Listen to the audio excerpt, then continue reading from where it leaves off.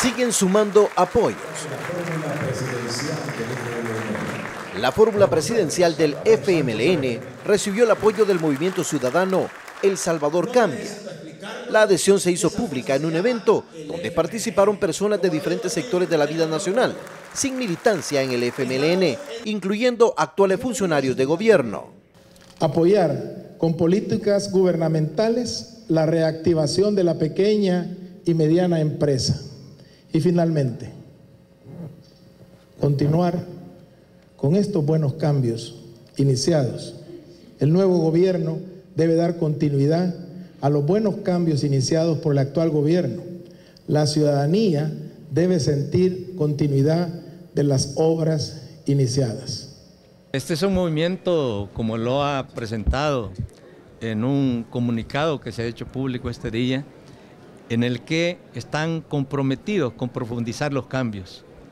Además está integrado por funcionarios públicos y está integrado también por ciudadanos que quieren que el país continúe ese buen camino, ese buen camino de los cambios.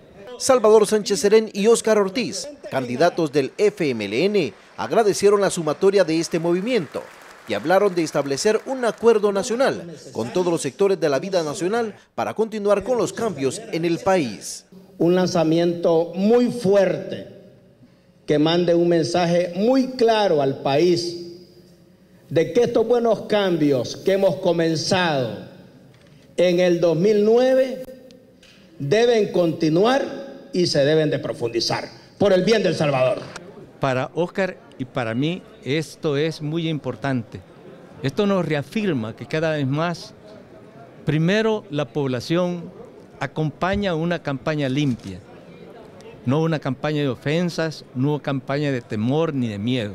Para la fórmula FMLNista, estos apoyos les dan la confianza de un buen resultado en las elecciones del 2 de febrero. Ya se les han sumado sectores profesionales, religiosos, empresariales, sindicales y partidos políticos.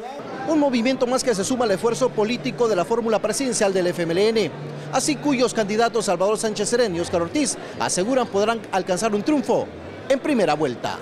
Eduardo Alegría López, Telenoticias 21.